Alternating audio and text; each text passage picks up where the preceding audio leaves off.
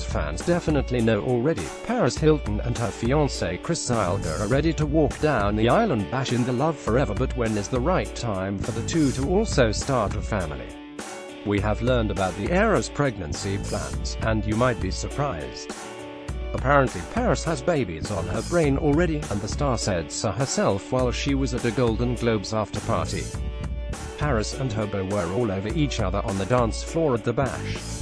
In addition, apparently, she was even overheard telling one of her pals that she is planning on getting pregnant soon. It was around 2 a.m. when the heiress, Chris, and even her parents were spotted dancing the night away to Michael Jackson music while at an HBO GG after party.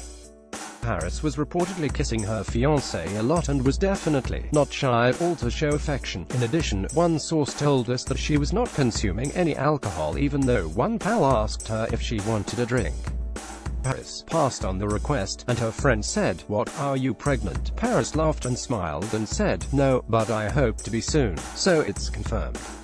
Paris is planning on welcoming an addition to the family in the near future. The insider went on, it's very clear that Paris and her man truly like each other, as they were all over each other. Her parents are happy with her choice in a man because they were laughing along and talking to him all night. Looks like everything's going very well with them. However, even though they totally approve of her man, her family is very surprised the Paris they know, who likes to party is willing to settle down already.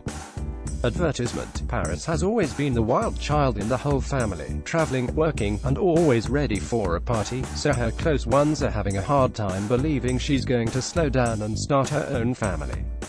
But that's exactly what she's telling people, the insider explained.